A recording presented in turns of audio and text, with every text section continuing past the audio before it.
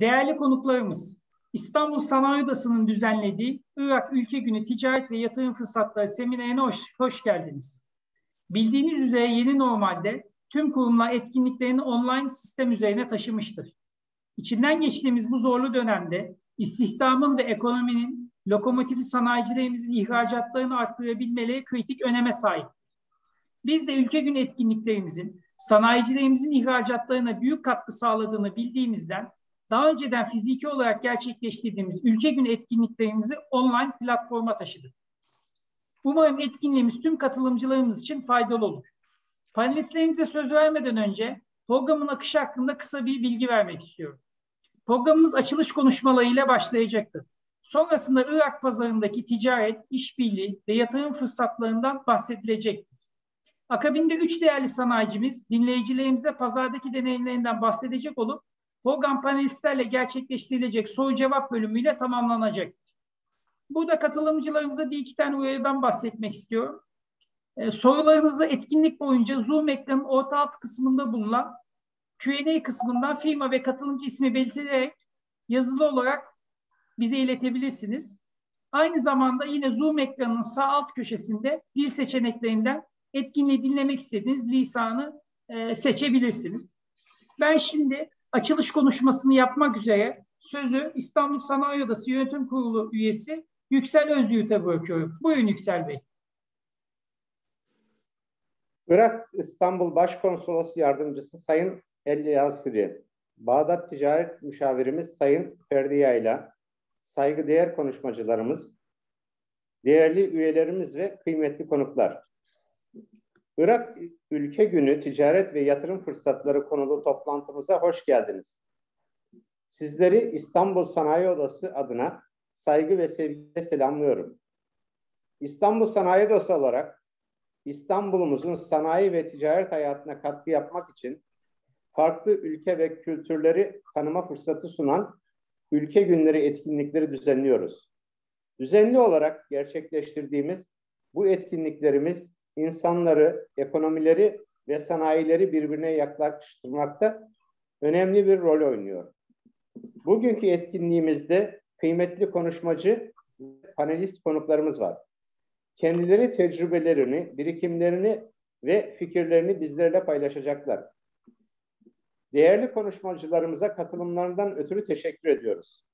Değerli konuklar, Türkiye'yi ve dünyayı sarsan pandemi ile mücadelede normalleşme sürecine girilmesine rağmen iş dünyasında COVID-19 salgınının etkileri ne yazık ki hala hissedilmektedir.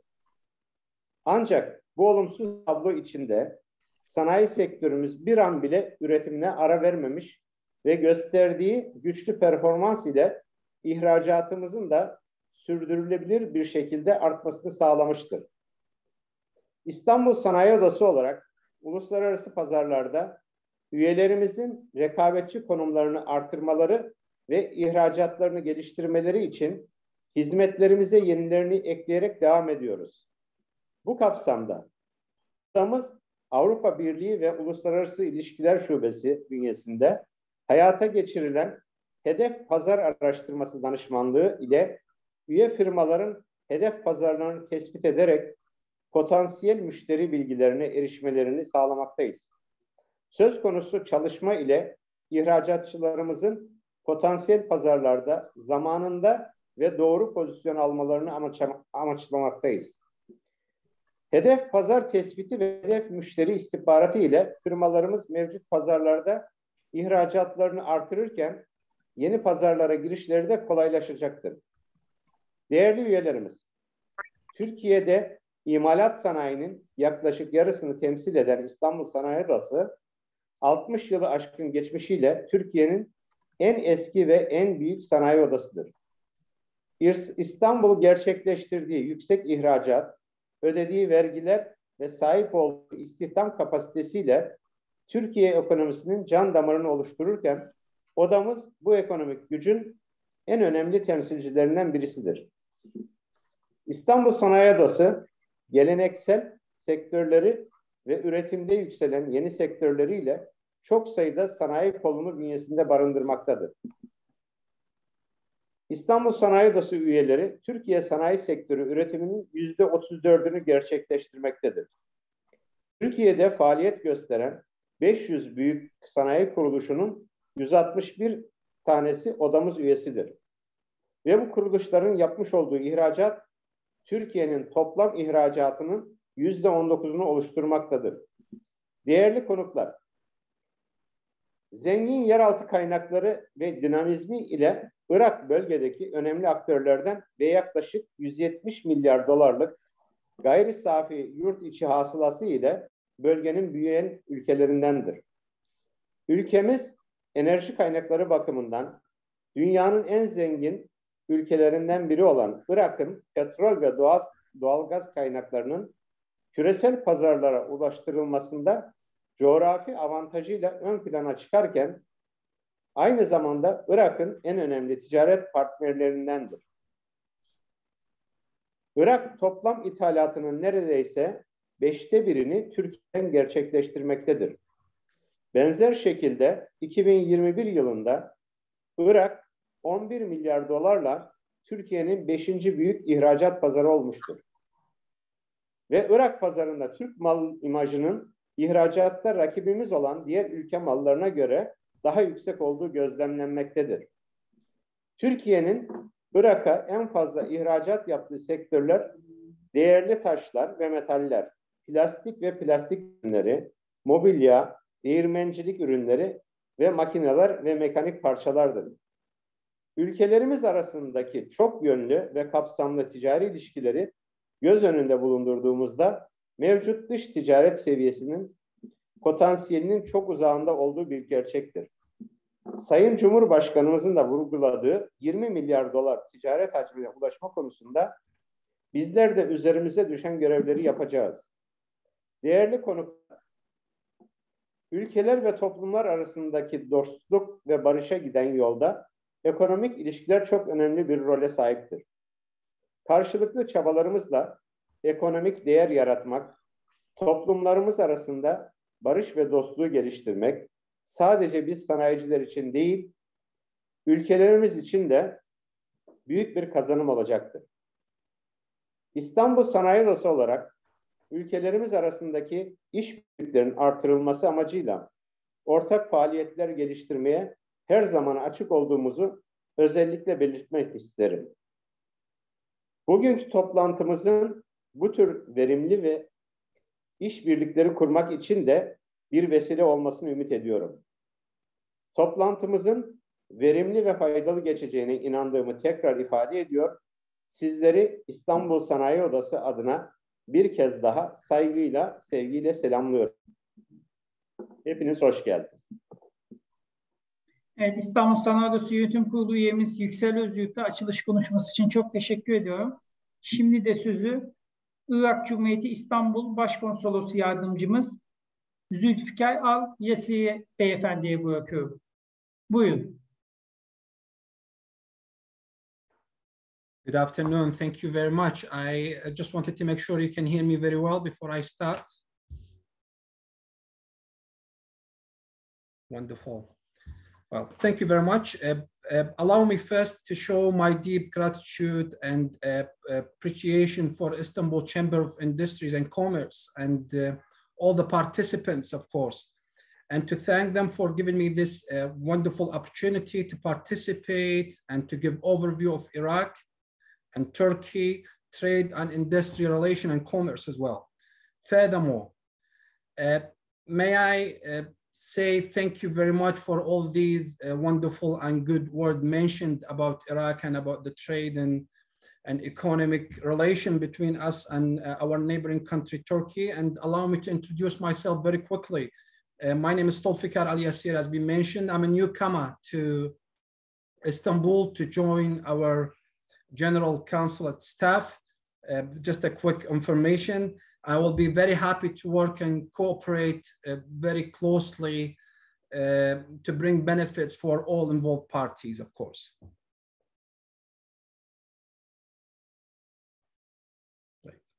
May I begin by mentioning that Iraq and Turkey trade bilateral relation has always been very strong. due to many factors, which are coming from historical, very good relation between the two countries, further for them being neighboring countries as been mentioned.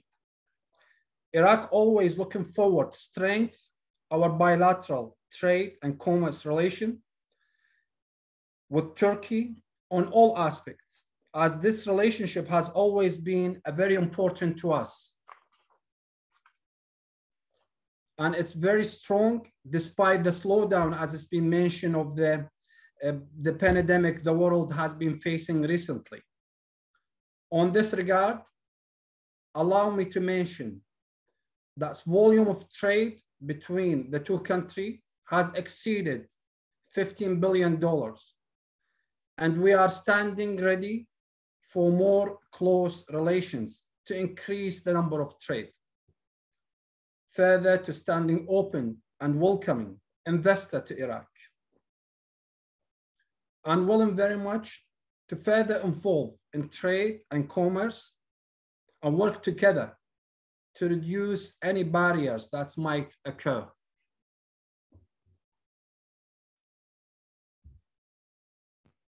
Iraq and Turkey had recently had Iraq and Turkey Forum on Trade and Investments.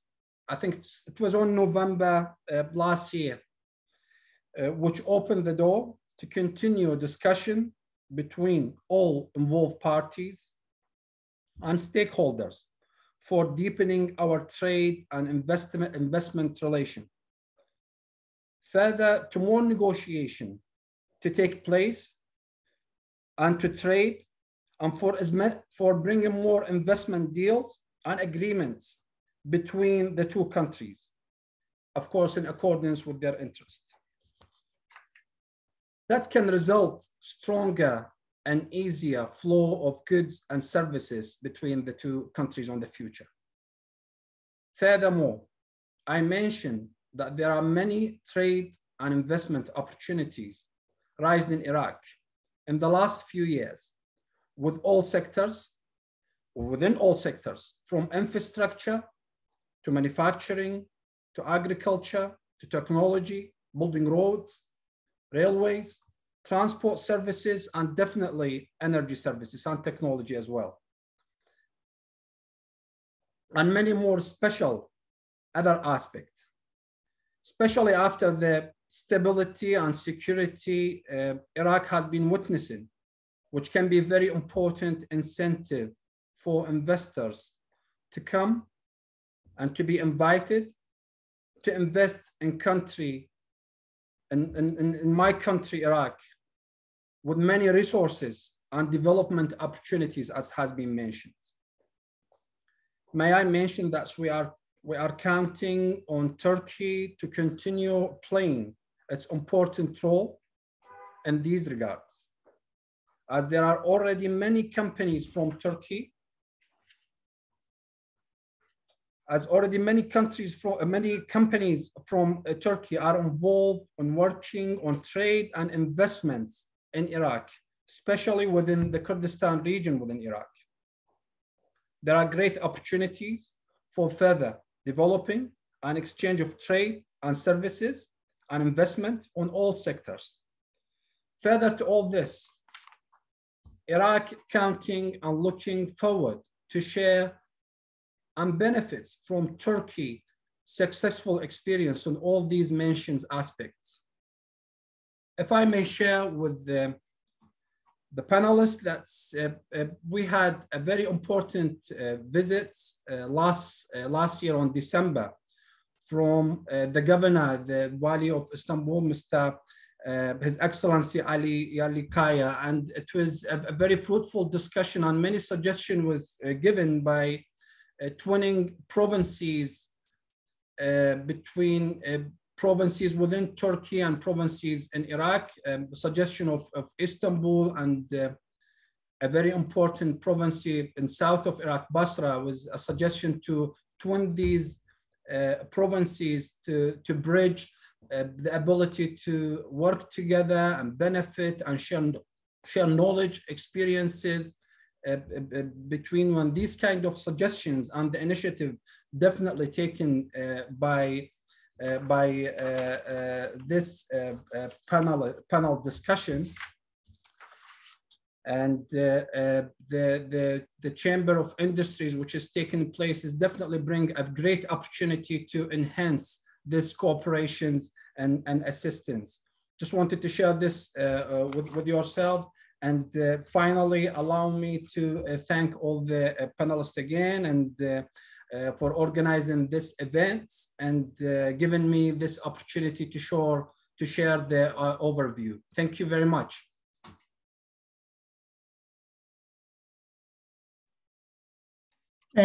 Çok teşekkürler Zülfikar Bey e, verdiğiniz bilgiler için. E, çok teşekkür ederim. E, şimdi ben e, sözü e, Irak'ta ticaret, işbirliği ve yatırım fırsatları e, kısmında e, Ticaret Bakanlığı Bağdat Ticaret Müşaviri e, Ferdi Yayla Bey'e vermek istiyorum. Buyurun Ferdi Bey. Ee, teşekkür ederim Mehmet Bey. Ee, ben de öncelikle... Ferdi Bey sesiniz e, kısık galiba.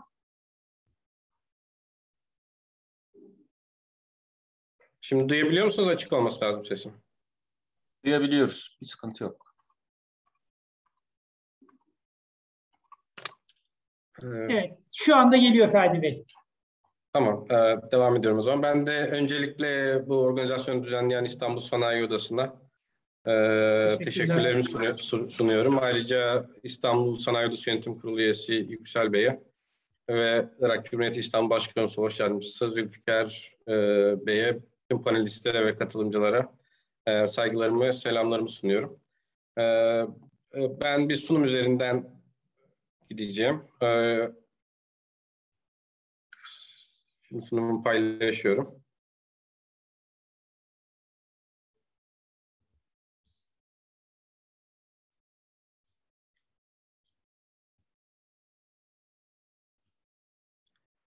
Ee, aslında Irak hakkında konuşacak çok fazla e, konu var. E, herhangi bir e, burada maddelerde gördüğünüz konulardan bir tanesini alıp e, konuşmaya başlarsak e, saatlerce konuşulabilir.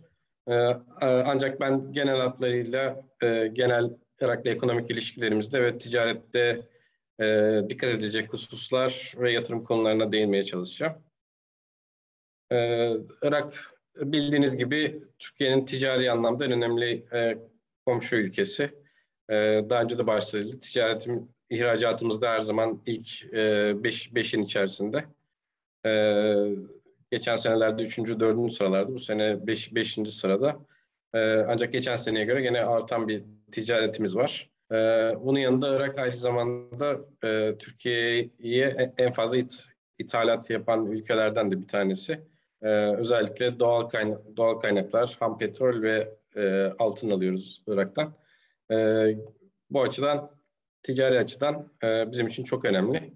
E, bunun yanında Irak'ın komşu komşu ülkeleri de ayrıca Türkiye için e, gene Türkiye'nin internetinde yer alan çok önemli ülkeler. Ve Irak'ta tam bu ülkelerin arasında yer alan e, Türkiye için e, lojistik olarak da çok e, mühim bir ülke. Özellikle e, okyanuslara açılma açısından, Basra Körfezi'ne ulaşım açısından, e, gene karayoluyla Körfez ülkelere ulaşım açısından İran İran'ın yanında Irak'ta çok önemli bir ülke. Suudi Arabistan, Ürdün, e, Kuveyt gibi ülkeler için de bizim açımızdan ulaş, e, ulaşım yolları açısından en ideal bir ülke. E, bu yüzden hem komşularıyla ilişkileri hem e, Türkiye ile ilişkiler açısından Irak e, siyasi, ekonomik, kültürel açıdan e, en önem verdiğimiz ülkelerden bir tanesi.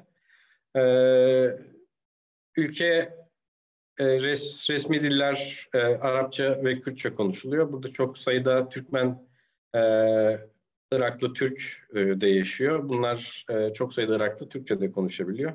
Ülkemizde aynı saat diliminde bu açıdan ticari ilişkileri e, yürütmesi e, kolay.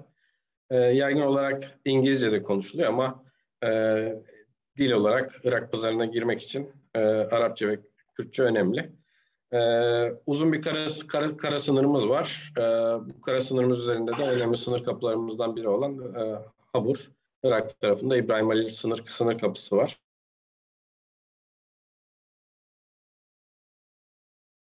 ticaretimizin çoğu bu sınır kapısı üzerinden e, ilerliyor. E, bunun dışında Irak'la ilişkilerimizin önemli boyutu da e, su boyutu. E, Türkiye'de doğan e, iki büyük e, nehir, e, Dicle ve Fırat, Irak'tan denize dökülüyor. E, ve Irak'ın tarımını e, destekleyen bu e, iki nehir e, zaman zaman su paylaşımı ile ilgili e, aramızda e, sıkıntılar yaşanabilse de e, son yıllarda önemli gelişmeler var. Bu konuda e, Irak tarafıyla çok ciddi e, müzakereler yürütülüyor ve e, su ilişkilerimiz son yıllarda e, güzel seyrediyor. E, nüfusu e, tam olarak bilinmese bile 40 milyonun üzerinde. E, dini yapı açısından e, üçte ikisi Şii, üçte biri Sünni gibi ufak e, bir Sünni, e, Hristiyan nüfus da var. E, yaş ortalaması çok genç. Bu açıdan e, e, çok potansiyele sahip bir ülke. E, ortalama yaş e, 20-21 civarında. E, bu genç nüfus hem ülke için potansiyel ama e, bazı e, sıkıntılardan dolayı tabii e, riskler de barındırıyor. Bu genç nüfusun özellikle iş iş bulması, eğitilmesi ülkenin önemli gündem maddelerinden bir tanesi. E, nüfus büyüme hızı da hızlı bir ülke. Yani pazar olarak düşünürsek neredeyse aslında Türkiye'nin yarısı nüfusa sahip bir pazar hemen yanı başımızda. Ulaşım imkanları çok kolay ve potansiyeli çok yüksek. Ülkenin siyasi yapısı Türkiye'nin eski parlamenter yapısına benziyor. Cumhurbaşkanı, Başbakan, e, bir meclis ve seç genel seçimlerde meclise milletvekilleri sokan e, partilerden oluşuyor. E, 10 Ekim 2021'de bir seçim oldu. E, şu anda bir yeni hükümet kurulması sürecinde. E, ancak eski hükümet ve eski e, görevliler görevlerine devam ediyorlar. Hali hazırda Cumhurbaşkanı Sayın Berham Salih, Başbakan e, Sayın Mustafa El Kazimi, Meclis Başkanı da Muhammed El e, Halbüsi. E, ülke siyasetinde e, anayasal olarak genelde Cumhurbaşkanı Kürt tarafından, Başbakan Şii tarafından, Meclis Başkanı da Sünni, Sünni tarafından oluyor. E, bu e, genel etnik e, etnik yapı ülkenin e, siyasetinde e, önemli yer tutuyor. E, bu çeşitli grupların e, dengesi e, burada siyasetin genel yapısını oluşturan e, unsur olarak karşımıza çıkıyor. E, daha önceki seçimlerde e, göreve gelen hükümet 2019 yılında e, başlayan e, gösteriler sonucunda istifa etmek zorunda kalmıştı. E, Mustafa Kazimi hükümeti onun yerine gelen aslında e, direkt seçilmemiş tekno, teknokrat bir hükümet. E, genel olarak e, Kaz, Kazimi e, hükümetiyle ilişkilerimiz son derece iyi. Zaten e, Sayın Kazimi de bütün komşularıyla e, dengeli ve iyi e, ilişkiler yürütmeyi e, amaçlayan bir politika izliyor. E, Türkiye'yi de daha önce hem Cumhurbaşkanı hem e, Başbakan ziyaret ettiler. E, son derece olumlu geçti. E, önümüzdeki dönemde yeni hükümetin kurulmasıyla belki e, Türkiye'den de üst düzey e, ziyaretler, Irak'tan yine Türkiye'ye üst, üst düzey ziyaretler olacaktır. E, ilişkiler daha da gelişecektir diye umuyoruz. E, Irak, Irak'ın para birimi Irak dinarı. Ee, Irak dinarı aslında uzun yıllar bir, bir dolar e, 1200'e yakın e, Irak dinarına eşitti.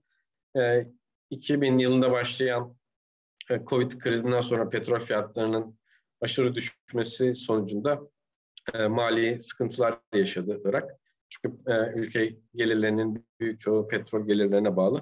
E, bunun sonucunda bir devalüasyon yapıldı ülkede. E, yaklaşık yüzde 23 Irak dinarı değer kaybetti e, 2000 yılında. E, ve şu anda bir Amerikan doları aşağı yukarı e, 1450 Irak dinarına eşit. E, bu devalüasyona rağmen ülke, ülke halkının alım gücünün biraz düşmesine rağmen e, 2000 yılında düşüş gösteren e, ihracatımız geçen sene bütün e, dünyada olduğu gibi Irak, Irak'ta da artış gösterdi. E, rakamları daha sonra vereceğiz. E, IMF tahminlerine göre 2021 gayri safi milli hasılası 200 milyar dolar civarında. 2022 tahmininde 226 milyar e, dolar.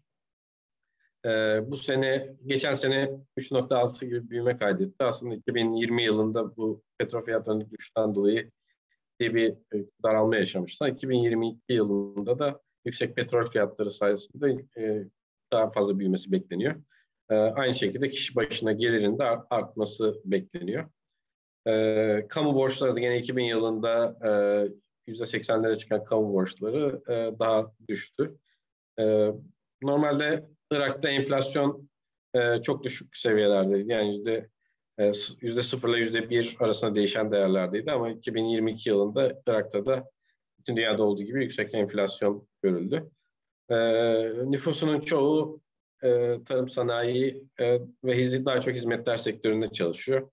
E, sanayi sanayi sektörü petrol dayalı sanayi. E, tarım sektörü de hala ülkede önemli bir e, katkı veren sektör. Ee, Irak ekonomisinin genel durumunu incelerken e, daha önceki slaytlarda da birkaç kere bahsetmek zorunda kaldım. Aslında izlenecek en önemli e, kriter e, petrol fiyatları. Bütçe gelirlerinin yaz, e, yaklaşık %90 üzerinde e, ham petrol satışına dayanıyor. Gümrüklerden, e, vergilerden e, ve diğer kalemlerden devletin elde edebildiği gelirler e, petrol gelirlerine göre çok düşük. O yüzden petrol, ham petrol fiyatlarındaki dalgalanmalar Irak e, ekonomisine de yansıyor. E, 2000 e, 2000'li yılların e, iki, e, 2010 2010'lara doğru artan petrol fiyatlarının daha sonra tekrar hızlı bir şekilde düşmesi. E, 2014-2016 yıllarında o zaman e, Irak önemli bir finansal krize de sokmuştu. O zamanlarda burada iş yapan firmalarımızdan hala e, kalan e, sıkıntı sıkıntılar devam ediyor. Burada büyükeltilik olarak takip takip ediyoruz. Bu tabii aşırı düşüşler, devletin gelirinin az, azalması güvenlik açısından da ülkede zaman zaman riskler yaratabiliyor. Mevcut durumda ise siz de takip ediyorsunuz petrol fiyatları yüksek. E, yani 60-70 doların üzerindeki petrol fiyatlarında Irak bütçesi işte kamunun genel harcamalarını karşılayacak bir miktarda yatırımlara e, kaynak ayırabilecek e, kadar bütçe geliri elde edebiliyorlar. E, burada e, bu tablo 2021 yılına ait. 2021 yılının Ocak ve Aralık aylarında e, gördüğünüz gibi petrol fiyatlarının artmasıyla e, Irak'ın da petrol satışları hem miktar olarak e, OPEC kısıtlamalarının kalkmasıyla ortalama 80-85 milyon varillerden aylık olarak e, yaklaşık 100 milyon verilere kadar çıktı. Yani petrol fiyatlarındaki artışla e, Irak'ın petrol satışından gel, elde ettiği gelirler e, aylık olarak 7-8 milyar e, seviyelerine ulaştı. E, bu da Irak ekonomisi için dediğim gibi e, olum, olumlu bir gelişme bu yıl için. E, bu bu sayede hem e, genel giderlerini karşılayabiliyorlar hem de e, gelecekteki dönemde yatırımlara daha fazla kaynak ayırabileceklerdir. İş yapılabilirlik olarak Irak e, tabii uzun yıllar e, savaş, savaşlar, e, iç karışıklıklar yaşamış bir ülke. E, bu yüzden e, şey olarak, e, iş yapılabilirlik olarak e, uluslararası yayınlara baktığımızda e, çok e, biraz gerilerde gerilerde gözüken bir ülke. E, Transparency Organ e, yolsuzluk endeksinde 180 ülke arasında 157. Dünya Bankası'nın e, 2020 yılındaki iş yapma kolaylığı anketinde 190 ülke arasında 172. E, lojistik performansı olarak da e, 160 ülke arasında 147. E, bunlar yani, tabii bunlar e, bizim için biraz önce bahsettiğim avantajlardan dolayı e, çok caydırıcı faktörler değil. Türkler e, zor pazarlarda e, iş yapmaya bilirler. Irak'ta bahsettiğimiz gibi çok Türkiye açısından e, çok büyük avantajları olan bir pazar. E, bu nedenle e, Türkiye'nin ticaretinde buradaki veri, verileri yansıtmayan bir öneme sahip. E, genel olarak ticaretimizin hacmine baktığımızda e, bu tabloda sarı sütunlar ihracatımız, e, koyu sütunlarda ithalatımızı gösteriyor. E, genel olarak e, diğer e, önemli ihracat pazarlarımızı örneğin Almanya, İtalya e, gibi önemli ihracat pazarlarımızda e, genelde ihracatımıza denk ithalatımız hatta daha fazla ithalatımız olabiliyor. Ticaret dengesi bizim aleyhimize şekillenebiliyor. Irak'ta ise 2020 yılı hariç, 2020 yılında büyük miktarda altın ithal edildiği için Irak'tan e, ilk defa o yıl e, ithalatımız, ihracatımız geçti ama geleneksel olarak her zaman için e, ihracatımız ithalatımızdan fazla e, ve ticaret fazlası verdiğimiz bir ülke. E, rakamlara bakarsak son iki yılın rakamlarını en alttaki iki sütunda görüyorsunuz. E, bunlar evet, TÜİK'ten alınan e, bilgiler. E, ihracatımız 11.13 milyar dolar seviyesinde. E, ithalatımız da 8.3 milyar e, dolar seviyesinde. Bu da ticaret hacmimizi 19.5 e, milyon dolara koyuyor. E, burada petrol verileri de var. Genelde bazı verilerde olmuyor. E, Irak'tan aldığımız en fazla e, aldığımız ürün petrol ve altın. E, 2020 yılına göre 2020 yılında biraz ithalatımız fazla olduğu için 20 milyar doları yakalamıştık ama ihracatımız daha düşüktü. E, bu açıdan e, Cumhurbaşkanımızın koyduğu hedefler e, seviyesine çok yakınız. E, ama Yüksel Bey de bahsetmişti. Potansiyelimiz bunun aslında çok üzerinde. E, Irak, Irak'la çok daha fazla iş yapabiliriz. Burada altılı getip bazında en fazla ihraç ettiğimiz ürünleri görüyoruz. Bu da e, Irak'la en fazla çalışan aslında sektörleri gösterme, göstermesi açısından da önemli. E, her zaman için e, Irak'a en önemli ihracat kalemimiz e, mücevher. E, Irak'tan şöyle bir e, denge var. Irak'tan tam altın alıyor Türkiye. E, burada çok raf, rafineri sayısı az olduğu için. Türkiye'de işlenen altınlar e, mücevher olarak Irak'a geri satılıyor. E, bu da bir katma değer katkısı olan önemli sektörlerden bir tanesi. E, onun dışında un, buğday unu satışımız e, epey fazla Irak'a.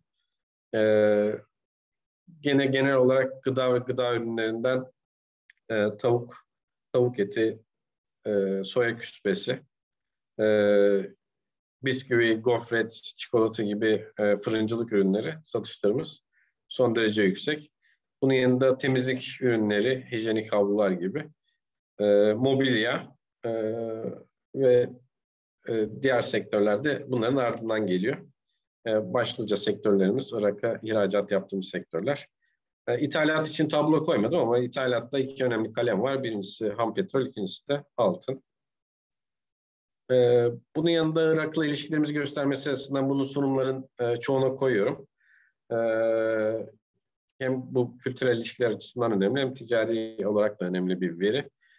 Iraklılar ülkemizden e, en fazla e, gayrimenkul olan e, yabancı e, milliyetlerden bir tanesi. E, aslında bu veriler 2015'ten beri yayınlanmaya başlandı. 2020 yılına kadar Iraklar her zaman ilk sıradaydı. E, son iki yılda İranlılar e, daha fazla alıyorlar ama Iraklıların da gene son yıllarda e, gayrimenkul alışları Türkiye'den artıyor. E, 2020 yılında özellikle 8661 e, konut almışlar Iraklılar. Bu TÜİK'in Aralık ayında yayınladığı veriler.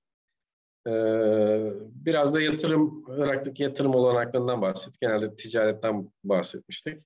Ee, Irak dediğimiz gibi doğal kaynakları zengin bir ülke ama e, uzun yıllardır iç e, ve dışarıdan gelen sıkıntılarla e, baş etmeye çalıştığı için pek çok, ya her alanda pek çok demiyorum, her alanda e, yatırıma ihtiyaç duyan bir ülke. Bu yatırımı e, kendi kaynaklarıyla da karşılamaya çalışıyor. Ancak mevcut petrol üretimi ve satışından elde edilen gelir e, bu yatırımın hepsini kendi e, kendi kaynaklarıyla karşılamasına yetmiyor. O yüzden yabancı yatırıma muhtaç bir ülke. Ne kadar iş yapma zorlukları olsa da bahsettiğimiz gibi potansiyeli çok yüksek. Yetkili kurum Ulusal Yatırım Komisyonu. E, burada web sitesini görebiliyorsunuz. Detayları incelemek için gelebilirsiniz. E, potansiyel yatırım alanları çok geniş ama petrol ve gaz sektörü her zaman için e, ilk sırada e, yatırım çeken sektör. E, onun dışında iletişim altyapısının, elektrik altyapısı, e, ulaşım altyapısı ve bankacılık altyapısı günümüz standartlarının gerisinde bu konularda büyük yatırımlara ihtiyaç duyuyor. E, konut ve inşaat sektörü son zamanlarda çok canlı. Özellikle ben, e, biz Bağdat'ta yaşıyoruz. Bağdat'ta e, sıra sıra yükselen konutları görüyoruz. Ülkede yaklaşık 2018'de Dünya Bankası, o zaman Dünya Bankası'nın yaptığı araştırmaya göre 3,5-4 milyon konut açığı var. O yüzden arsa da kıymetli. Bağdat, Basra vesaire gibi şehirlerde. Hem arsanın kıymetli olması hem de e, konut ihtiyacının çok olmasından dolayı pek çok konut projesi var. E, ve bunlar e, çok fazla yük, yüksek fiyatlara satılabiliyor. Yani Iraklıların Türkiye'den konut alması nedenlerinden bir tanesi de bu. Yani ülke, Irak'taki aynı kalitede konutlar daha pahalıya satılıyor burada. Ee, onun dışında yine sağlık, eğitim, turizm e, bu sektörler e, yatırım bekleyen sektörler. Ee, ülkede yatırım, Türkiye'dekine biraz benzer yatırım teşvik sistemi var. Ee, Ulusal Yatırım Komisyonu e, tek pencere sistemini yatırımcıların e, hizmetine sunmuş durumda. Yatırımcıların ihtiyacı olan işte şirket kurulumu, vergi e, gibi mevzuat vesaire gibi konularda yatırım komisyonu tek pencere sistemi üzerinden yatırımcılara yardımcı olabiliyor. Bu nedenle ülkede yatırım yapan sanayicilere veya giriş, girişimcilere e, vergi muafiyetleri, gümrük muafiyetleri, e, arazi tahsisleri, kar transferinde kolaylıklar gibi e, bazı teşvikler sağlanıyor. E, bunun yanında işte yatırım olanaklarının yanında ülke ile bazı konularda ticari e, konularda dahil olmak üzere e, yaşadığımız bazı sıkıntılar var. Bunlar da e, yatırımı zorlaştıran unsurlar Irak'ta. E, bunun başında vize sorunları geliyor açıkçası. Bu son e, 2020 Haziran ayında e, iki ülkede vize rejiminde değişikliklere gitti. Türkiye eskiden Iraklılara e, elektronik vize verirken e, biz sadece etiket vize vermeye geçtik. E, buna mütekabiliyet ilkisi gereği Iraklılarda eskiden havaalanında vize verilirken onlar da biz de sadece etiket vize vermeye geçeceğiz dediler. E, ancak e, etiket vize süreçleri uzun sürüyor e, Irak'ta. Yani turist olarak da gelseniz, e, çalışmak, çalışma vizesi e, almaya da çalışsanız e, vize alması zor gerçekten Irak'a gelirken. E, uzun bazen 6, 7, 8 ayları buraya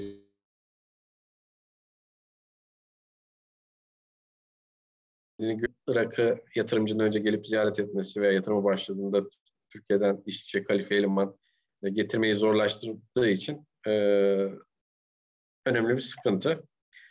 E, bunun dışında lojistik sorunlarımız var. Güvenlik gerekçeleriyle e, tırlarımızın e, ülkenin belli bir kesiminden e, daha güneye geçmesine izin verilmiyor. En son e, işte Kuzey Irak bölgesinin sınırları olan Musul ve Kerkük sınırına kadar ürünler gelebiliyor. Ondan sonra e, değişim yapılması gerekiyor. E, gümrüklerde sorun e, sorunlar yaşıyoruz. E, burada gümrük uygulamaları e, da çok şef, şeffaflık yok. E, çok birden kurallar değişebiliyor. Bunlar daha önceden bildirilmeden. E, şeffaflık ve öngörülebilirlik az olduğu için gümrükler e, sıkıntılı. Teknik düzenlemelerle ilgili sıkıntılar yaşıyoruz. Özellikle e, sertifikalandırma konusunda. E, pek çok üründe e, uygunluk sertifikası, e, Certificate of Conformity almak gerekiyor Irak'a. Yine bu süreçler uzun süre ve pahalı. E, bu konularda e, TSE'nin, Türk Standartları Enstitüsü'nün e, görevlendirilmesi için girişimlerimiz uzun yıllardır sürüyor. E, ama çok daha uzun bir yol alamadık. Sürecin başında tıkandık.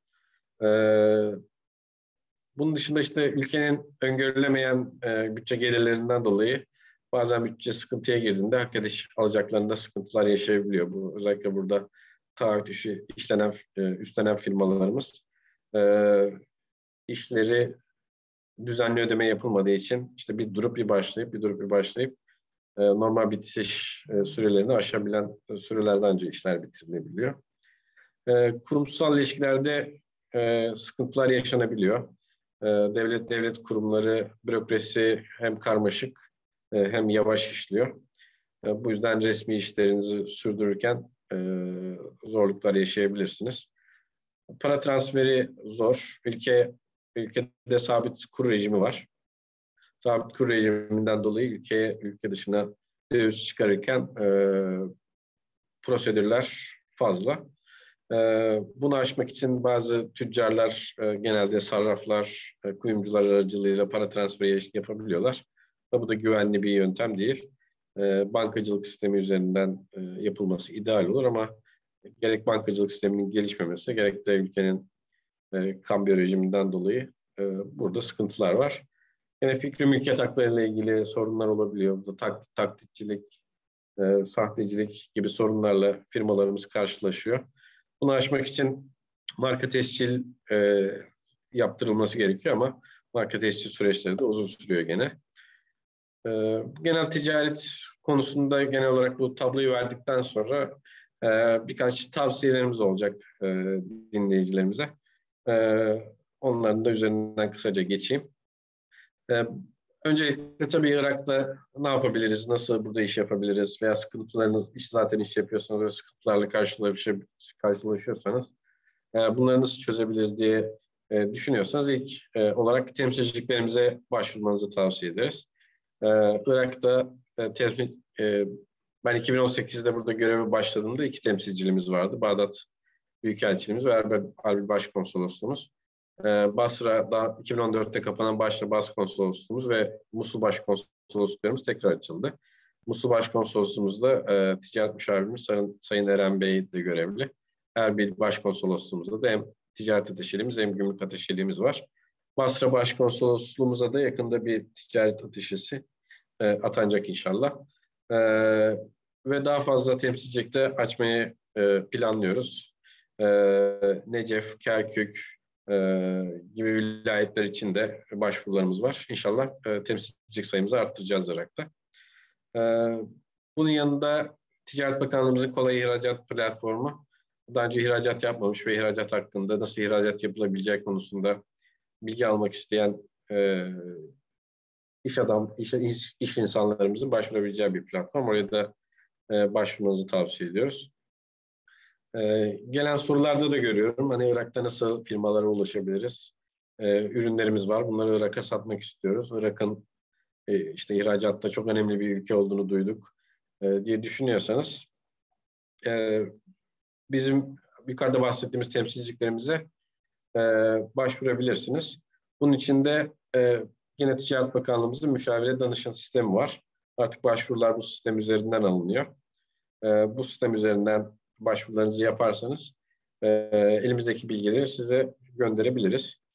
E, yalnız Irak'ta şuna dikkat etmek gerekiyor. E, Irak'ta ne yazık ki e, kurumsal firma sayısı az ve e, diğer daha daha gelişmiş ve gelişmekte olan ülkelerde olduğu gibi e, gümrük verileri veya firma firma verileri e, burada tutulmuyor veya tutuluyorsa da e, kamuoyuna açıklanmıyor. E, bu yüzden e, GETIP e, veya işte GETIP kodu göndererek e, belli bir veri tabanından e, firma ismi çekme e, şansımız bulunmuyor ne yazık ki. Bizim bu derlediğimiz firma firma bilgileri daha çok işte bize başvuran, bizim fuarlarda gördüğümüz veya basında açık kaynaklarda bulabildiğimiz aslında biraz el yordamıyla toparladığımız firmalar. Bu yüzden firmaların Irak'ta ihracat yaparken kendi çabaları önemli. Ee, özellikle kendinizin araştırma yapması, eğer Irak pazarına ciddi eğiliyorsanız e, Arapça bilen bir personel iş, istihdam edilmesi. E, sosyal medya kullanımı çok yaygın Irak'ta. Sosyal medya üzerinden e, araştırma yapabilirsiniz. Facebook çok kullanılıyor. E, bütün firmalar, hatta devlet devlet kurumları bile e, web sayfası sistemi çok e, gelişmediğinden Facebook üzerinden hem reklam tanıtım yapıyorlar hem duyurular yapıyorlar. E, haberler Facebook üzerinden yayınlanıyor. O kaynakları takip etmeniz önemli. E, bunun yanında Türkiye'de de çok sayıda Iraklı var. Hem e, Türkmen akraba topluluğundan dolayı hem Türkiye'de e, ev alıp yerleşen Iraklılardan dolayı e, Türkiye'den de aslında şey yapabilirsiniz, Iraklı müşteri bulabilirsiniz e, doğru Türkiye'de doğru kanallara ulaşırsanız e, Irak'ta genel olarak çevresi geniş e, insanlara ulaşabilirsiniz. Pazara böyle de giriş yapılabilir. E, tabii de e, fuarlı fuarlara katılım önemli. E, Irak'ta Kasım aylarında Bağdat Uluslararası Bağdat Fuarı düzenleniyor. Bu Irak'taki en önemli uluslararası fuar. E, bu fuara katılmanızı öneririm. Onun dışındaki sektörel fuarlar e, çok canlı geçmiyor Irak bir fuar ülkesi diye.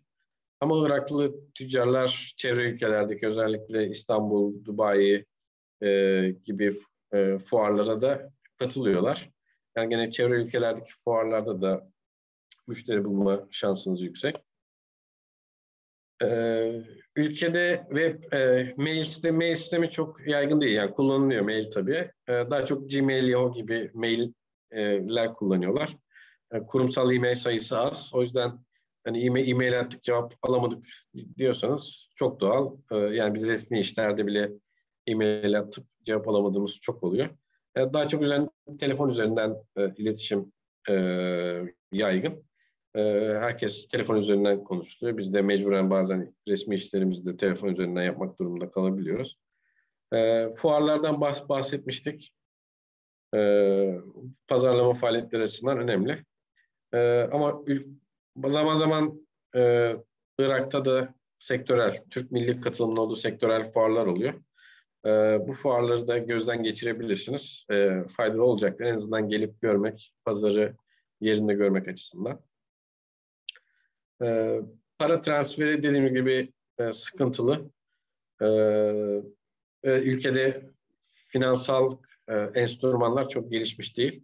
E, bu yüzden kimseye e, vadeli olarak çalışılmasını e, tavsiye etmiyoruz. E, genelde ihracatta öyle çalışılıyor ama e, Irak'ta özellikle buna dikkat etmekte e, fayda var. E, peşin peşin çalışılması önemli. E, sevkiyat öncesinde ödemenizi garanti etmeniz e, daha sonra e, başınızın ağrımamasına e, sebebiyet verir. Ülkede dört tane Türk Bankası faaliyet gösteriyor. Ziraat Bankası, İş Bankası ve Albaraka'nın hem Bağdat hem Erbil'de şubeleri var. Vakıf Bank'ın sadece Erbil'de şubesi var. Bu bankalar üzerinden buralarda hesap açıp e, buralardan e, garanti mektubu al, alabilirsiniz. E, akreditif yapabilirsiniz. E, biraz sadece e, ihracat bedellerinin gönderilmesi uzun sürüyor. Dediğim gibi burada Merkez Bankası'na pek çok e, ihracat evrakı sunulması gerekiyor. E, bu yüzden biraz yavaş bankacılık sistemi. Normal e, insanların sıklıkla kullandığı bu kuyumcular aracılığıyla para gönderme sistemine nispeten ama tabii bankacılık sistemi e, daha güvenli. E, çok uzatmadan genel olarak burada sunumumu bitirmek istiyorum. E, burada Irak'taki temsilcilerimizin e-mail adreslerini görüyorsunuz. E, her zaman e, mail atarak veya ihracatçı, bil, e, ithalatçı bilgisi istiyorsanız müşavire danışın sistemi üzerinden e, bizle irtibata geçebilirsiniz. Telefonla da her zaman arayabilirsiniz. Her yardımcı oluruz. Çok teşekkür ederim. Evet, e, Bağdat Ticaret Müşavirimiz Ferdi Yayla'ya ben verdiği bilgiler için çok teşekkür ediyorum. Çok sağ olun. E, çok faydalı bilgilerdi. E, sizlerin de bahsettiği gibi ben de sorulara bakıyorum genelde. E, siz konuşurken birçok e, firma bilgisi talep edilmiş. Bunları e, Ferdi Bey'in de bahsettiği gibi kolay ihracat platformu üstünden de hani temin edebilir firmalarımız veya müşavir danışın kısmından da e, yazılı olarak e, ticaret müşavirliğimize e, iletebilirsiniz. Bu konuda sizlere destekleri olacaktır. Şimdi ben Irak'ta iş yapan firmaların deneyimli kısmına geçiyorum. Burada üç tane bu bölgede iş yapan, faaliyetlerini sürdüren üç tane deneyimli sanayicimiz var. E, ben e, sözü e, Romatex Tekstil Genel Müdürü e, Murat e, Safar'a bırakıyorum. Murat Bey hoş geldiniz tekrardan. E, Murat Bey sesiniz kapalı.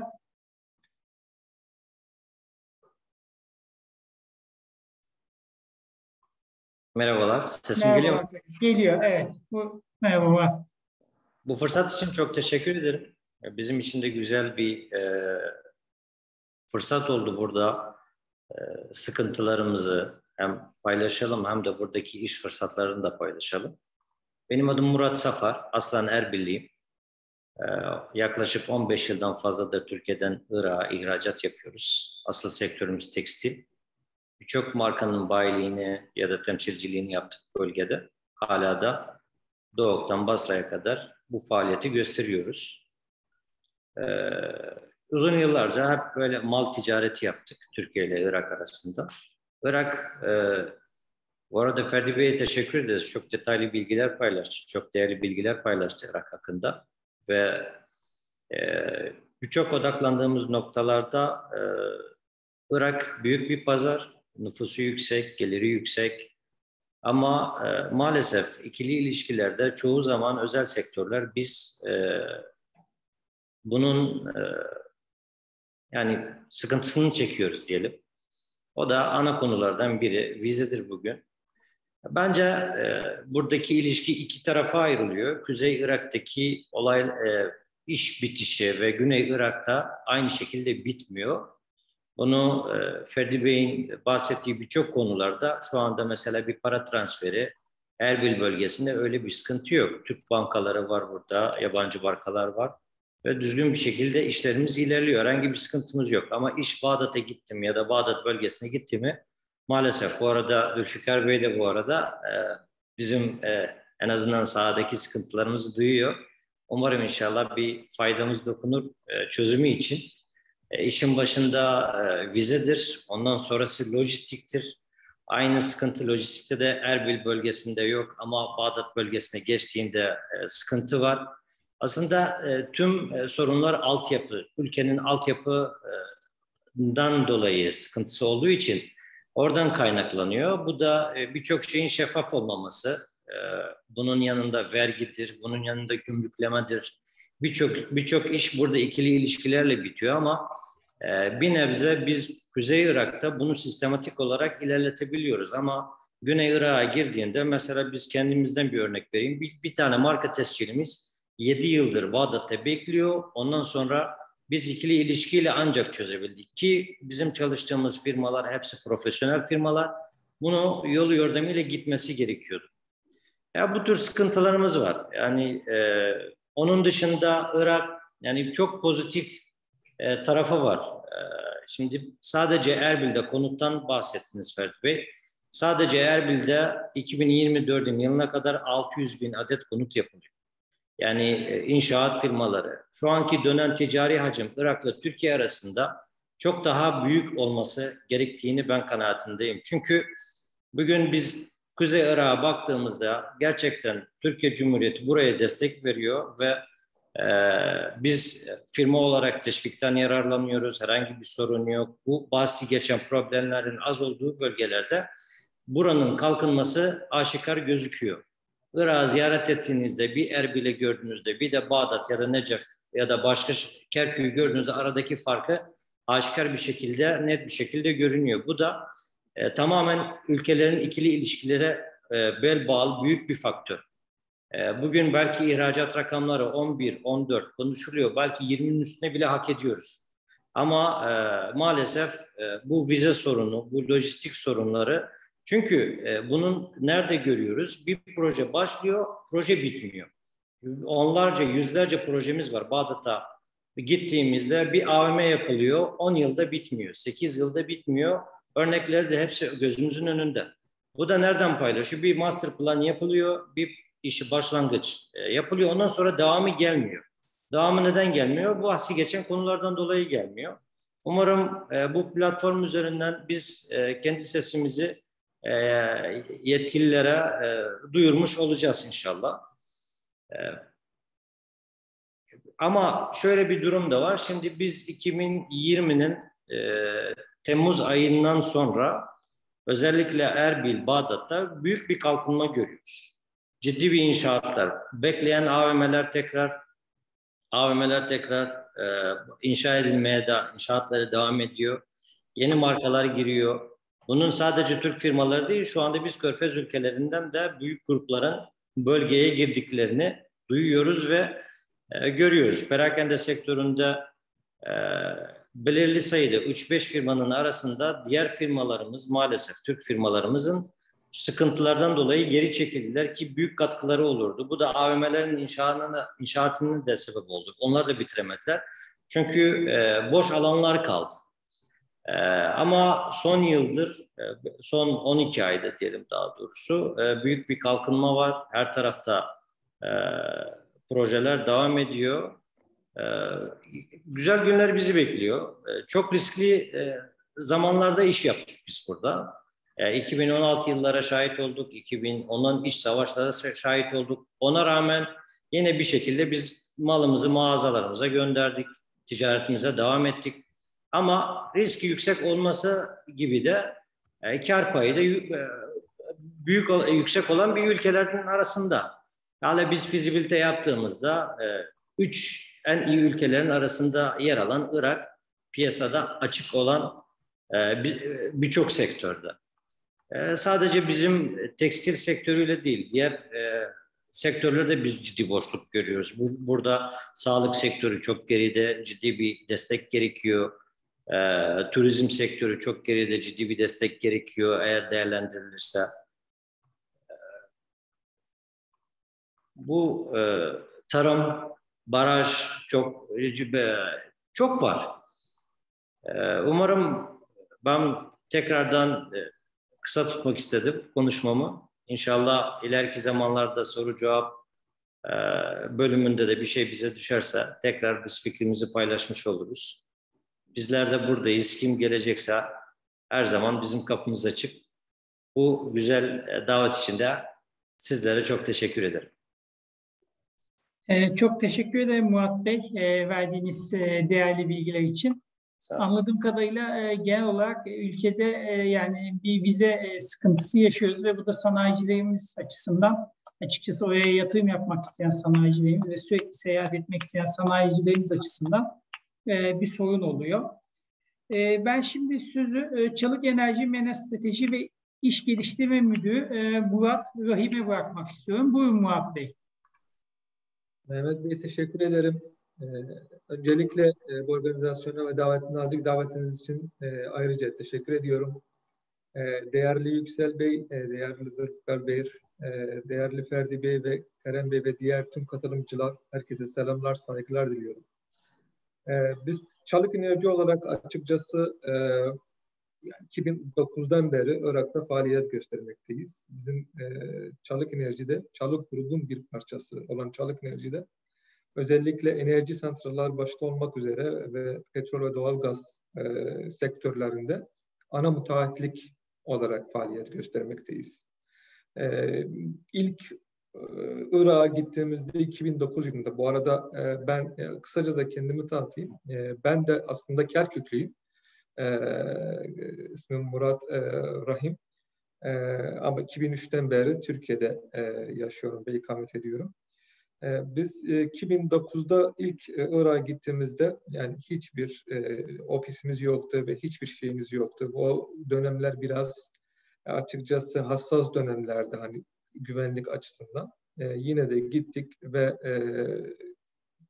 ilk önce ofisimizi orada Bağdat'ta kurduk. Daha sonra 2011 yılında Irak hükümeti tarafından özellikle Elektrik Bakanlığı tarafından yapılan açık uluslararası ihalesine katılarak ilk e, ihalemizi e, Hayrat e, Basit Çevrim Elektrik Santralı olarak kazandık. Yaklaşık 1250 megawattlık e, bir santral. Daha sonra aynı yıl, 3 ay sonra bir ihale daha yapıldı. O da e, Musul Gayara'da. O da 750 megawattlık. Onu da e, kazanmayı başardık. Her iki proje 2011-2014 arasında paralel olarak e, ilerledik ve ana müteahhit olarak her iki projeyi zamanında ve basit sorunlar diyelim olarak projeler tamamlamayı başardık. Her iki projenin bedeli neredeyse 1 milyar dolara yakın. bu süre zarfında açıkçası tabii ki biz de sıkıntılar yaşadık ama her şeye rağmen projeler tamamlamayı başardık. belirttiğim gibi ve e, gururla belirtmek isterim ki 2014 yılında bitirdiğimiz Hayrat projesi Kerbela bölgesinde, Kerbela ilindeki Hayrat projesi e, saygın INR dediğimiz mühendislik organizasyon tarafından yılın en iyi projesi seçildi. E, daha sonra e, sizlerin de malumunuz 2014-2017 arasında özellikle işte terör e, örgütü e, IŞİD'den dolayı ve petrol fiyatlarının düşmesinden dolayı e, bir e, neredeyse firma olarak bir ara verdik. E, ancak 2018 yılında tekrardan Irak'a e, bir liman projesiyle döndük. E, ortağımız Mitsubishi e, Japonlarla birlikte Basra'da Umkasır ve e, Horuzümer'de iki, iki tane e, bir, bir ihale e, kazandık. Yine uluslararası ihalesi olarak. E, daha sonra e, 2020 yılında e, Lukoil tarafından geliştirilen Batı Kurna, West Kurna dediğimiz petrol sahasında bir elektrik santralı projesi kazandık. E, ondan sonra 2021 yılında e, bu sefer kuzey bölgesinde e, biz de aynı orada e, ofisimizi açtık ve kuzey bölgesinde 2021 yılında iki tane elektrik santral ihalesi e, kazandık. Şu an Irak'ta Çalık Enerji olarak açıkçası dört adet şantiyemiz e, son e, nasıl tabiri caizse gazla çalışıyoruz. İki tane kuzeyde ve iki tane güneyde. E, ve diğer birkaç projemiz de var şu anda e, masamızda. Açıkçası biz e, firma olarak e, sadece enerji sektörü değil aynı zamanda petrol ve doğal gaz sektörüne de e, girmeyi çok hevesliyiz. Bu doğrultuda şu anda Irak'ta açıkçası özellikle orta bölgede e, mevcut rafinerilerin rehabilitasyonu için e, şu anda aktif olarak Petrol Bakanlığı ile görüşmelerimiz devam ediyor. Ve inşallah kısmet olursa en kısa zamanda onun da e, müjdesini zaten herkes e, duyacaktır. Irak'ta iş yapmak e, kolay bir iş e, elbette değil. Yani özellikle müteahhit sektörleri için konuşuyorum. E, siz de konuşmanın başında belirttiğiniz özellikle ödeme kısmında veya bazen güvenlik kısmında veya vize kısmı, lojistik kısmı bunlar hepsi doğrusu müteahhit sektörünü direkt etkileyen faktörlerdir. Her şeye rağmen Irak e, yine Türkiye olarak bizim için çok önemli bir e, pazar. Çünkü hem arka bahçemiz, e, komşu ülkemiz, kardeş ülkemiz e, ve orada fırsatlar her şeye rağmen çok büyük fırsatlar vardır. Bunu da herkes biliyor. E, bu nedenle biz bizim için Irak açıkçası yani Türk firmaları için genel olarak eminim aynı şekildedir. Vazgeçilmez bir pazardır. E, ben e, devam ederken konuşmaya açıkçası bazı sorulara böyle dikkatimi çekti. Bir hanımefendi sanırım Fatma Hanım sormuştu yani özellikle Ferdi Bey size sormuş hani güvenli midir Irak gidebilir miyiz diye önerinizi ve tavsiyenizi istemiş. Yani ben burada belirtmek isterim. E, gerçekten e, gidin. Yani e, gidebilirsiniz. Yani Irak'ta e, güvenlik özellikle tabii ki Bağdat bölgesi gibi Basra bölgesi veya Erbil yani güvenlik yönünden hiçbir sıkıntı yok. E, gerçekten gitmeliyiz. Yani hepimiz gitmeliyiz oraya.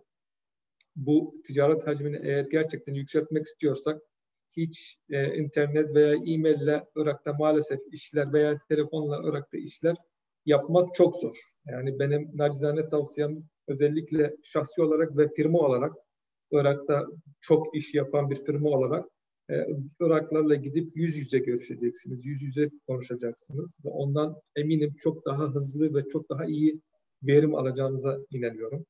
E, bu nedenle e, oraya gitmekte her zaman fayda vardır e, diye düşünüyorum. E, başka benim diyeceğim bunlardır. Biz tekrardan söylüyorum müteahhit sektörü olarak yani e, elbette çok zorluk çekiyoruz. Çektik daha önce de e, bunu da işte e, Ferdi Beyler e, çok e, kahrımızı çektiler tabiri caizse burada çok tekrardan teşekkür ederiz.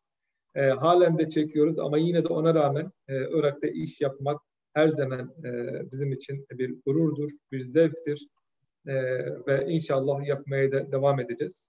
E, elimden geldiği kadar kısa tutmaya çalıştım ancak herhangi bir sorunuz olursa seve seve cevap vermeye her zaman hazırım. Çok teşekkür ederim tekrardan bu nazik davetiniz için. Sağ olun. Evet, Çalık Enerji Menaj Strateji ve İş Geliştirme Müdürü Murat Rahim Bey'e de ben e, verdiği bilgiler için e, çok e, teşekkür ediyorum. Emin Bey, acaba gelebildiniz mi? Görüntünüz yok ama beni duyabiliyor musunuz? Evet, ben şu anda hattayım. Merhabalar, herkese evet. selamlar. Merhabalar Emin Bey, hoş geldiniz tekrardan. Emin Bey, Emin Tabi Bey, değil Türkiye Irak İş Konseyi Başkanı Yardımcısı. Ee, Emin Bey, e, biz de sizlerin açıkçası bu ülkeye yönelik olarak e, yaptığınız faaliyetler ve deneyimleriniz hakkında e, bilgi almak istiyoruz.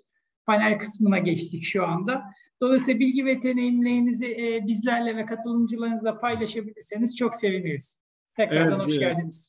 Ee, hoş bulduk, sağ olun. Ben e, e, 1965 e, Kerkük Altınköprü ilçesi doğumluyum. Bağdat Teknik Üniversitesi mezunuyum, mühendisim. 94 e, yılında İstanbul'a geldim. Hala da İstanbul'dayım ve e, iki ülke arasındaki ihtiyaçların e, çok büyük olduğunu, Türkiye'nin üretici, sanayici bir ülke olduğunu ve Irak'ın e, piyasası tüketici bir ülke olduğunu görerekten e, bu iki ihtiyacı karşılamak için e, bir lojistik aynı anda parsiyel günlük taşımacılık, aynı anda e, bankacılığın Irak'ta sıkıntılı olduğu için onun da e, ödeme konusunda bir garantör aracı firma konumunu, aynı anda e, Türk sanayicinin Irak'a korkmadan ürününü satabilmesi için e, gereken altyapının hazırlanmasını, Irak'ın e, iş adamlarının Türkiye'ye rahatça gelebilmeleri,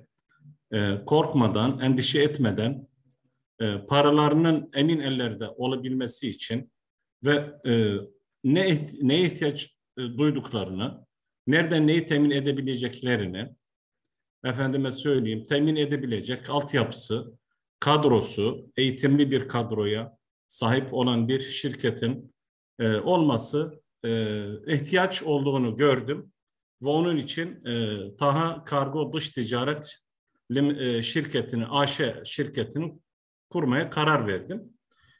Ve biz e, muhtelif sektörlerde hemen hemen tüm sektörlerin Irak'a mal satabileceğini onu gördük. Irak'ta kuzey, güney, doğu, batı e, demeden 18 ilin tümüne biz şubeler e, açtık. Oraya e, koy, koyduğumuz kadroları e, eğitime sokaraktan işbaşı yaptırdık ve, ve e, en önemli şey de bizim için bir e, bilgi işlem e, programı, e, yazılım sistemi, güçlü bir yazılım sistemiyle e, Iraklı müşterinin ilk uçağa bindiği andan e, piyasaya gelene kadar ve geri dönene kadar bütün süreçlerde biz onu kendimiz takip altına alıyoruz. Bütün ihtiyaçlarını karşılıyoruz ve e, hiçbir sorusu cevapsız kalmıyor ki bu vesileyle biz Iraklı iş adamlarını Çin'den çekebildik. Biliyorsunuz Irak'ın hala da maalesef yani Çin birinci mertebede ihracat yapan ülkedir. Irak e, ama biz yine de onu büyük ölçekte, büyük ölçüde e, önemli iş adamlarını Çin piyasasını koparıp e, Irak piyasasını, e, Türkiye piyasasına getirebildik. Neden getirebildik? Çünkü kafasında şu var, Türk ürünü bir, kalitelidir, iki, fiyatı her ne kadar Çin fiyatından biraz yüksek olsa da ama Avrupa menşeli, Amerika, Kanada menşeli ürünlere göre daha ucuz. Üç, teslimat süresi, kargo süresi kapıdan kapıya door to door dediğimiz hizmet mevcuttur.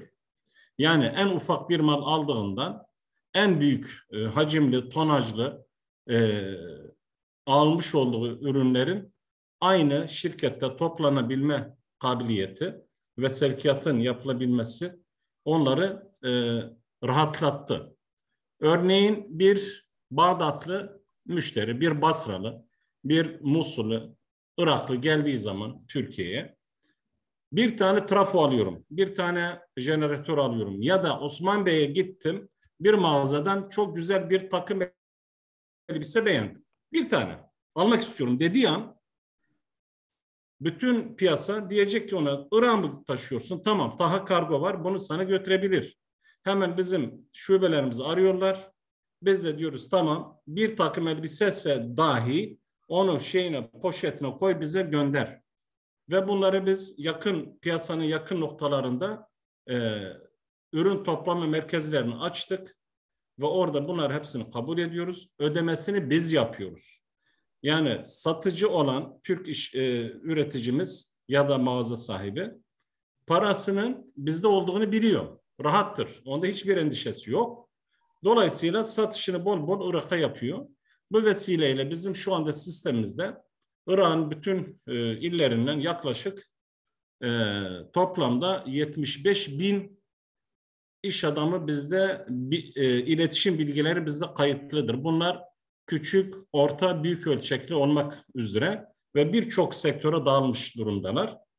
E, bizim görevimiz Türk ürününü hakkını verebilmek, tanıtmak Irak piyasasına, iyice tanıtmak ve müşteri, Iraklı müşteriyi bu piyasayla tanıştırmak, buluşturmak ve bu ikili aradaki ticareti canlandırıp takip edip bütün süreçleri bizim garantörümüzde yönetmektir. Bunun için biz e, ihracatlarda sürekli ödül alıyoruz. Aslında bu ihracatın e, ödülünün layıkı üreticilerimizdir, sanayicilerimizdir. Ama biz mecbur niye yapıyoruz bunu? Çünkü ufak bir e, değeri düşük olan bir e, ürün için e, bir ihracat beyanlamesinin açılması, sevkiyatı onun için büyük bir külfet olur. O külfeti biz üstleniyoruz. Bir tırımızda bakıyorsun bazen 200, 150 e, Iraklı iş adamının ürününün malını taşıyabiliyoruz. E, dediğim gibi e, Türkiye Irak'a çok daha işler yapabilir. Sadece bu benim bahsettiğim e, bölüm e, ticari kısmıdır ama bunun yanında biliyorsunuz e, Türkiye'nin Irak'ta yapacağı iş adamlarımızın, iş dünyamızın öncelikle e, büyük projelere el atmaktır ve enerji sektörü başta olmak üzere enerji santrallerinin kurulması Irak'ta, işletilmesi, e, sağlık sektöründeki hastaneler, e, Irak'ın e, başlıca bir ben sormadım kaç dakika zamanım var ben e, hani e, elime aldım sazı çalıyorum ama ben evet, devam edebilirsiniz. Çok var. güzel bilgiler veriyorsunuz Emin Bey. Ee, ee, buyurun. Daha var vaktiniz. Var mı var, var mı vaktin? Peki. Var var var tamam. yani var daha vaktiniz. Ben ee, söyleyeyim. Buyurun. Yani e, değerli katılımcıların vaktini almamak için bunu sordum. Ee, şimdi özellikle Irak'ın e, ihtiyaç duyduğu e, en önemli hususlardan biri temiz içme suyu. Sağlıklı içme suyu. E, güçlü, yüksek kapasiteli barajlar. E, Irak'ta bu sene özellikle çok yoğun bir yağmur yağdı ve çok kar da yağdı. E, ama ne yazık ki e, altyapıları e, yani en son Irak'ta bana şu soruyu sorabilirsiniz Mehmet Bey. Irak'ta en son yapılan baraj hangi yılda yapıldı? Cevabım size şu olur. 1983 yılında. Ve 1983 yılından bugüne kadar Irak'ta bir tane baraj yapılmadı. Benim e, geçmiş e, geçmişim DEİK'te 2003 yılına dayanır. 2003 yılında ben DEİK'te e, üye oldum. Hala de devam ettiriyorum. E, yani yaklaşık 19 sene oldu. Ve Irakların bu süreçte hep bize sitem ettikleri Türkiye'ye neden işte bize suyumuzu vermiyorsunuz, kesiyorsunuz diyorlar. Halbuki kesinlikle bu sene kanıtlandı ve Irak'ın doğal e, tabii kaynaklardan sorumlu bakanın bunu açıklamasını resmen yaptı. Biz dedi gelen bizim suyumuz Türkiye ve İran üzerindendir. Türkiye'ye teşekkür ederiz. Bugüne kadar çok eleştiri yapmamıza rağmen bu sene bize en fazla su miktarını veren Türkiye oldu. Ne yazık ki komşumuz İran suyu bizden kesti. Doğal gazı da kesti. Elektrik üretimimiz de düştü. Ve barajlarımızın e, su seviyelerini baya düşürdü. Bu da bizim için güzel bir gelişme oldu. E, devam ediyorum. Bizim için şu anda e, Irak'ta birçok önemli e, sektörlerde yer e, alabiliriz ve bunu artırabiliriz. Özellikle e, gaz ve petrol arama ve bulma ve e, refine sektörü. İran şu anda e, biliyorsunuz e, iki tane körfez savaşı oldu. Biri 91 yılında, biri de e, 2003 yılında. Bu e, iki savaşta İran altyapısı özellikle petrolle ilgili, doğalgazla ilgili olan altyapısı yok oldu. Amerika uçakları onun çoğunu e, yok etti. E, aynı anda da İran savunma sanayi e, başkanlığı çok güçlüydü. Çok büyük fabrikalar vardı. Hatta ben üniversiteden mezun olduktan sonra iki yıl Irak'ta savunma sanayi başkanlığı fabrikalarında iki yıl e, stajyer mühendis olarak çalıştım. Ve oralarda e, Alman firmalardan çok pahalı makineler, üretim hatları ithal edilmişti Japonya'dan da. Ve bu iki e, ülkeden, Japonya ve Almanya'dan gelen e, bu CNC makineleri özellikle çok pahalıydı. Hepsini maalesef Amerikan uçakları vurdu ve yok etti.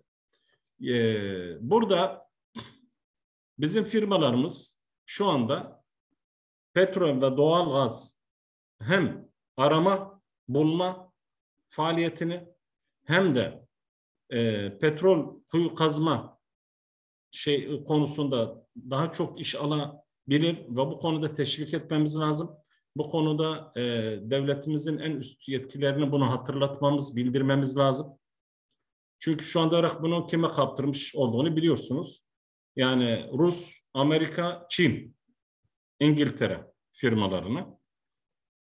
Biz iyi bir e, lobi kuraraktan, iyi bir ilişkiler kuraraktan özellikle Irak'ın e, başbakan e, seviyesinde ve Başbakan Genel Sekreteriyası ve Petrol Bakanlığı'nda ki buradaki ilişkileri ve lobiyi güçlendirmekte fayda var ki bu ihaleleri alalım biz yapalım. Bunun yanı sıra e, savunma sanayi başkanlığı faaliyetimizi e, artırmalıyız ki şu anda artıyor, artmaktadır. E, hakeze e, Mart ayının e, ikisiyle beşi arasında bilginiz e, büyük ihtimalle vardır. Yoksa da ben yine bu buradan bildireyim. E, Irak'ta savunma sanayi e, fuarı vardır. Bizim Türk firmalarımız iştirak etmektedir birçoğu oraya.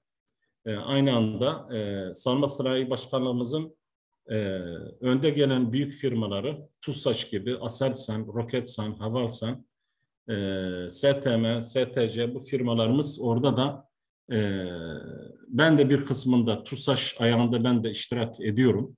E, Havalsan kısmında ve orada e, birebir Irak Savunma Başkanı ile Irak e, Savunma Bakanı ile e, görüşmeler gerçekleştirdik.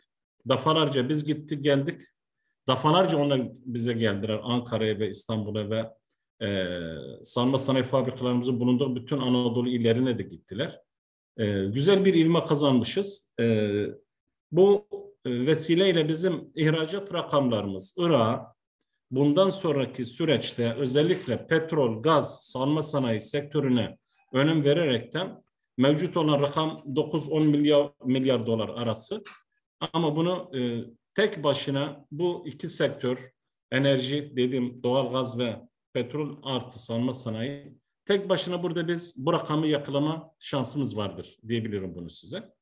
Kaldı ki biz bu iki sektörü ele aldığımız takdirde e, Irak'ın siyasi kararlarında ve e, çok etkili olacağız ve hükümetin yapısında da çok etkili olacağız.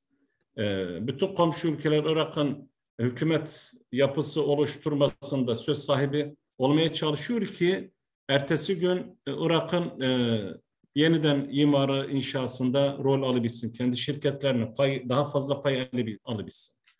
E, efendim ben söyleyeyim e, bizim Irak'tan ikili fayda etme şansımız mevcut. Örneğin her sene Iraklar e, yabancılar arasında Türkiye'de ya birinci ya da ikinci mertebede gayrimenkul alan e, ülke vatandaşları oluyor. Burada e, bu da bize bir katma değer sağlıyor. Bu burada daire gayrimenkul aldıklarında emeklileri gelip Yalova, Bursa, İstanbul, Antalya bu bölgelerde yaşıyor. Ee, çocuklarını burada üniversiteye kaydediyorlar. Ee, bunu e, buna bağlı da e, sağlık sektöründe e, Irak'tan bize çok yüksek sayıda hasta gelebiliyor. Hastanelerimiz, birçoğu hastanemizin Iraklılar e, için yüksek oranda iş yaptığını hepimiz biliyoruz, görüyoruz. Ancak bizim şu anda Irak'la ilgili bir tek konumuz var. O da göç ve e, göç sorunu. Bunu da hükümetimiz temkinlikle yaklaşıyor, elinden geleni yapıyor. E, yani e, vize konusuna geleceğim. Vize konusunda sağ olsun Dışişleri Bakanlığımız e, çok ciddi, güzel adımlar attı. Irak'ın birçok ilinde e, vize başvuru ofisleri açtı. O vizeler e, çok e, çok donanımlı, çok modern bir yapıya sahip ve çok güçlü bir yazılım sistemine sahip e, olan e, ofislerdir. E, Irak bunu yapamadı bizim taraf, yani Türkiye'de. Irak'ın yapması gereken örneğin e, e, Gaziantep, İstanbul, Ankara'da bunu yapmalarını biz e, DEİK olarak, Türkiye Irakçı Konseyi olarak dile getirdik, talep ettik. Ben yazılı olarak Irak Başbakan Genel Sekreteri Sayın Hamid Gızi Bey'e yazılı olarak ilettim. DEİK e, e, ismim yani kurumumuzun adıyla. E, çünkü bizim iş adamlarımız şu anda Irak'ta yatırım yapacak, iş yapacak ama hem kendisinin gitmesinde hem de personelinin vize alımında sıkıntılar var. Yani süreçler uzuyordu. Son bir iki ayda, üç ayda biraz süreçleri e, düşürdüler, azalttılar. E, ama yine e, yetersizdir. E, rakamlar da söyleyebilirim size değerli Hazirun, kıymetli katılımcılar. E, bizim tabii ki burada e, günlük Türkiye olarak Irak'taki vize başvuru ofislerimizin üzerine minimum 4-5 bin Iraklıya vize, ülkeye giriş vizesi verebiliyoruz. Ama Iraklar 4 bini bırakın, 5 bini bırakın. Günde bize 100 kişiye ya verebiliyor. 50 kişiye dahi veremiyorlar açık söyleyeyim size. Böyle bir sıkıntı var. İnşallah da bu yeni hükümetin kurulmasıyla beraber e, ilk gündem maddelerinden bu olacak. Biz de ilk olarak hala bu konu üzerine elimizden gelin katkıyı vermeye e, hazırız. E, olumlu yönüyle olması için. E, bir de önemli bir husus var. E, Mehmet Bey değerli Hazirun. Bizim karayoluyla Irak'a bağlı olan illerimiz var. Biliyorsunuz Şırnak'tır, Mardin'dir, Diyarbakır'dır, Batman'dır, yakın olan Hakkari'dir. Bu illerimizin canlanabilmesi için oradaki gençlerin daha fazla iş imkanı bulabilmesi için direkt karayoluydan olan yolcu beraberindeki ticaret hacmine daha kolaylıklar getirmemiz gerekir. Daha esneklik, e, böyle esneklik e, getirebileceğimiz yeni mevzuat, yeni yasaların çıkması lazım. O bölgedeki insanlarımızın işle, ticaretle meşgul etmemiz gerekir ki başka e, karanlık örgütler onları çekemesin, onları kandırmasın ve olumsuz bir şekilde kullanmasın. Çünkü bir gencin işi varsa başka bir şeye bakmaz, işiyle meşgul olur. Onun için e, Habur sınır kapısında olur ya da ona paralel bir iki kapı sadece bu e, kişisel ticaret bazı olan günlük bakım bakımındaki ticaretlere odaklanabilen yani örneğin cebinde günlük gidebilecek 5 bin dolarlık 10 bin dolarlık alışveriş yapabilsin. O 5-10 bin dolarlık yaptığı alışverişini ister buradan oraya götürsün ister oradan buraya getirsin. Her ikisine izin verilmesi lazım.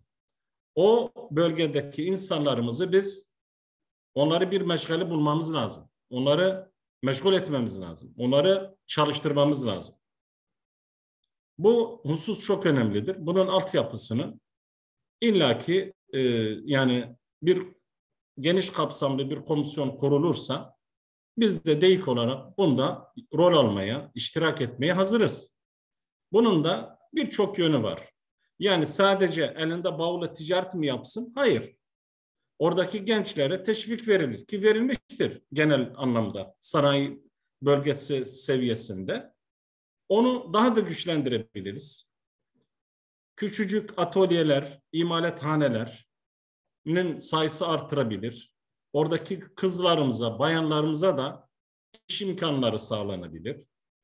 Ee, ve hem ikili ekonomik ilişkilerimiz canlanır hem de biz e, oradaki insanlarımızı mutlu mesut etmiş oluruz. Efendim e, Türk Hava Yolları büyük bir rol üstlenmiştir iki ülke arasında. Uçaklar durmadan gidip geliyor. Türk Hava Yolları bizim milli taşıyıcımız, milli gururumuz. Ee, ve Irak'ta e, gerçekten e, Irak vatandaşı dahi öncelikle Türk Hava Yolları'nı tercih ediyor. Ama burada bir sıkıntımız var. Türk Hava Yolları'nın uçuş saatleri sürekli gece yarısı oluyor. Bunu burada Türk Hava Yolları'na da duyuralım Mehmet Bey. İş adamları şikayeti çok. Ya arkadaş diyor, Türk Hava Yolları istiyorum, bin, bineceğim ama illaki gece yarısı. Ben diyor gece uyumadığım zaman ertesi gün sarhoş gibi ortada sersem oluyorum. Yani ne iş yaptığımı anlamıyorum, ne konuştuğumu bilmiyorum, uykusuz kalıyorum diyor. Yani bunu da e, bu e, değerli toplantıda dile getireyim dedim hatırlatmakta fayda var diye düşünüyorum. Ama tabii ki dediğim gibi her zaman Türk Hava Yolları bizim için hakikaten e, ve bunun yanı sıra bir ülkemizde dış temsilciliğimiz varsa ister başkonsolosluk ister e, büyükelçilik bunun yanına da Türk Havaları koydum mu artık her iş adamının gidebileceği bir nokta olur. Ticaret yapabileceği, yatırım yapabileceği bir, yapabileceği bir e, şey olur, bir ülke olur. E, ve e, ben isterseniz e, sorulara da cevap verebilirim Mehmet Bey. Şöyle ee, soruları ben e, yönelteceğim birazdan e, Emin Bey ama tabii cevaplamak istedikleriniz varsa buyurun e, cevaplayabilirsiniz. E, yani yani eğer varsa soru sormak isteyen e, hazırında. Şöyle biz şimdi soruları yönelteceğiz katılımcılarımıza. Ben e, ben yine soruyorum. Benim söz hakkım bitti mi? Devam edeyim mi? Siz söyleyin. E, şu anda ise aslında tam soru cevap kısmına geçtik Emin Bey. Peki, e, ben tamam. çok teşekkür ediyorum. E, yani, ben teşekkür ederim. E, bakış açınızda e, e, lojistik sektörüne de bakaraktan hani farklı bir bakış açısı getirdiniz esasında toplantıya. Çok faydalı oldu o yüzden. Benim açımdan da hani diyebilirim bunu. E, çünkü sonuçta sanayicilerimiz de ürünlerini bu pazarla ihraç edebilmeleri için işin lojistik kısmı da açıkçası çok önemli. Bu kışın bu kısmında aksamadan devam etmesi lazım.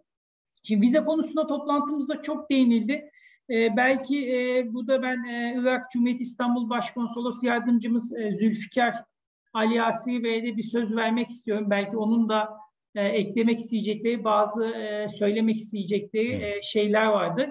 E, Zülfikar Bey beni duyabiliyor musunuz? Thank you very much. Yes, I can hear you very well. Thank you.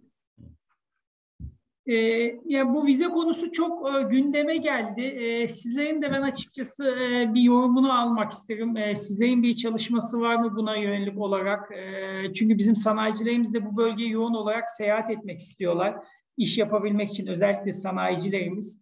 Yani belki sadece sanayicilere yönelik e, hızlı vize verilmesi gibi e, bu tarz e, gündemler var mı? Hani bunun hakkında bilgi alabilirsek çok sevinirim.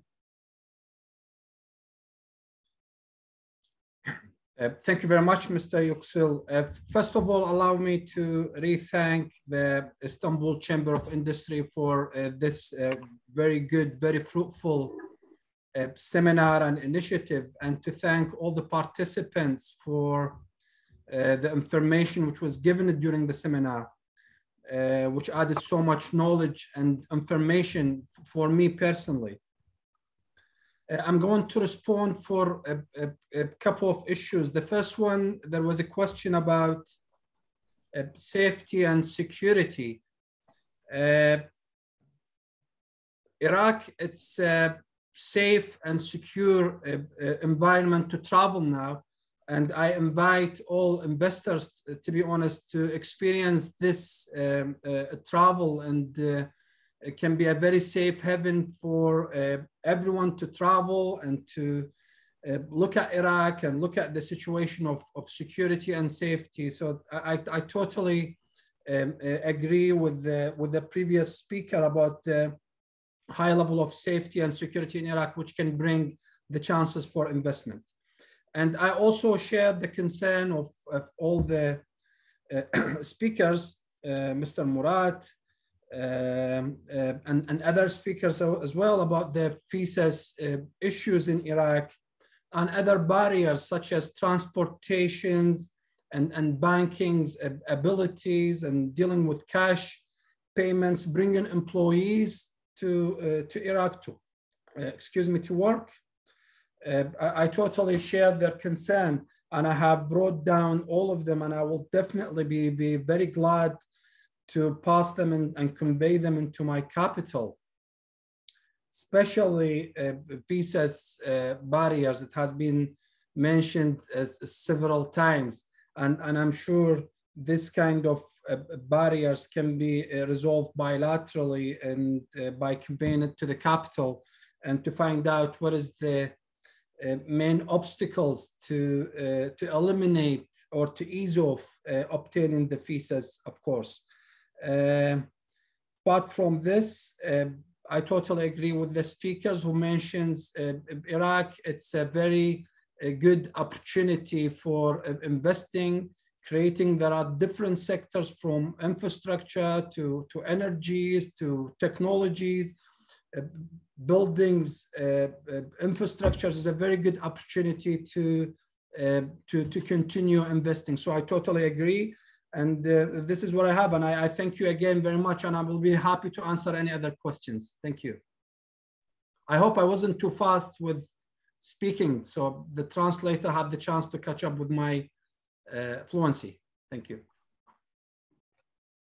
Ee, çok teşekkürler ee, Zülfikar Ali Yasir Bey. Ee, gayet her şeyi net anladık. Ee, tekrardan bilgilendirmeniz için çok teşekkür ediyorum. Ee, ben ilk sorumuzu e, ticaret müşavirimiz Ferdi Yayla'ya yöneltmek istiyorum.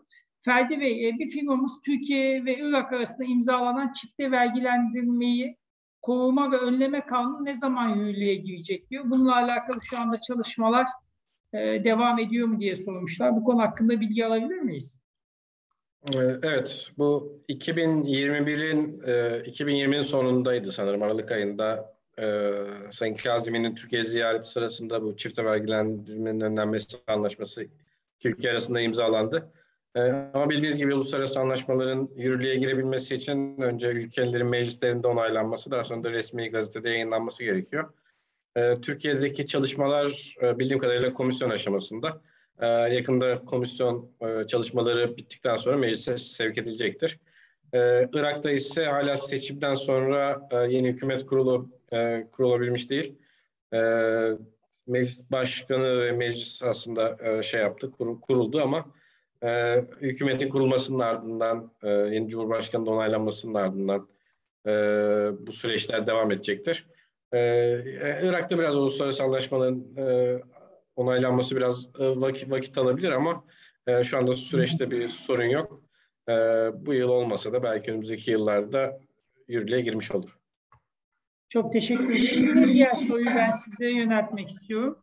Özellikle bu ihraç edilecek medikal ürün, ürünlerin Irak devlet kurumlarında kayıt ve izinleri konusunda anladığım kadarıyla zor oluyormuş bunlar. Ee, bunlarla alakalı kolay bir yöntem geliştirildi mi? Hani e, bilgi alabilirsek çok teşekkür ederiz demişler. Evet, şöyle bir şey var. Şimdi Irak'ta genelde e, ilaç ithalatı, ilaç ithalatını Irak Sağlık Bakanlığı'na bağlı e, bizdekine benzer ilaç, ilaç ve tıbbi cihaz kurumu var. Da kime, kime, Kimadiye diye geçiyor ismi. Kimadiye tarafından yapılıyor. E, Kimadiye'nin ilaç ithalatı yaparken e, bazı sertifikalandırma zorunlulukları var. E, bunlarla ilgili 2018-2019 yıllarında Türkiye, Türkiye'den ihraç e, eden firmalara e, daha zor sertifika şartları vardı. Bunlar o, o yıllardan bugüne şey oldu. E, aslında geliştirildi. E, pek çok firmamız e, Irak'a ilaç ithalatı yapıyor. e, ilaç ihraç edebilmek için ya burada yerel temsilcinizin olması veya burada şube açmış olmanız gerekiyor. Ki medyanın ihalelerine giriyorsunuz. E, daha sonra da ihaleyi kazanırsanız göndereceğiniz ilaçlarla ilgili e, far, farmasötik e, tam sertifikanın ismini hatırlayamadım şimdi. Farmasötik ilaç sertifikası diye bir sertifika var. Bunu üçüncü bir ülkeden alıyorsunuz. E, üçüncü bir ülkede sizin e, ilacınızın işte e, farmasötik açıdan e, yeterli olduğunu onaylıyor. Daha önce dediğim gibi bu da bu sertifikanın alabileceği ülkeleri sınırlandırmışlardı Türkiye için ama şu anda daha geniş kapsamlı bir bu sertifikalandırma yapılabiliyor. E, bundan dolayı aslında son yıllarda daha daha kolay ilaç ihracatımız devam ediyor. Çok teşekkür ederim tekrardan. Emin Bey ben diğer soruyu size yöneltmek istiyorum. Ee, orada da e, oraya da çok sık gidip geliyorsunuz anladığım kadarıyla. Ee, özellikle bu hani e, birazcık esasında e, ticaret müşavirimiz Ferdi Bey de bahsetti. E, Çin'in etkisinin de yoğun olduğundan bahsetti. E, Çin'in ne gibi yatırımları var? Yani orada hiç gözlemleyebildiniz mi e, Emin Bey? Özellikle e, Irak bölgesinde. E, sesiniz kapalı Emin Bey şu anda. E, pardon. E, şöyle Mehmet Bey, e, Çin'in şimdi en son e, Ferdi Ali Bey de Sayın Ticaret Müşavirimiz Bağdat olduğu için vakıftır bu konuya. E, bin tane okul ihalesini Çinlere verdiler. Irak'ta bin tane okul.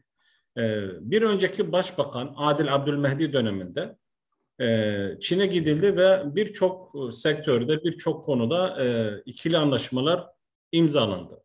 Ama onun tabii perde arkasında Amerika'nın şeyine takıldı, itirazına. Amerikan Büyükelçiliği'nin, Bağdat Büyükelçiliği'nin. Hatta onları kızdırılmış oldular. E, ondan sonra e, o anlaşmaların birçoğu yürürlüğe girmedi hala. Ama e, petrol kuyusu ve işletme konusunda e, refinelerde e, petrol arama faaliyetlerinde Çin'in Irak'ta şu anda payı var.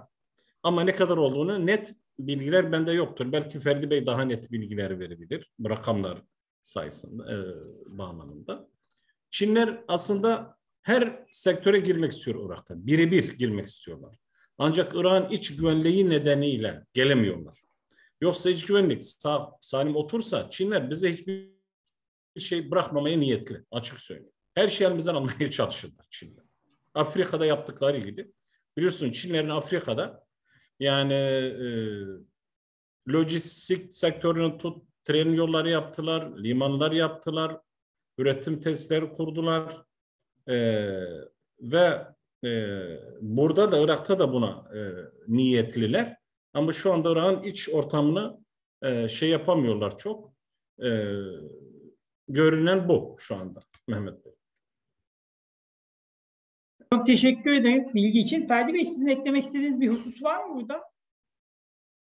Ee, Bey petrol sahalarından bahsetti. Ya bildiğiniz gibi değişik petrol sahaları var. İşte Basra'da, Kerkük'te, e, Mus Musul'da, e, Meysan bölgesinde. Çinlilerin işlettiği bir petrol sahası da var.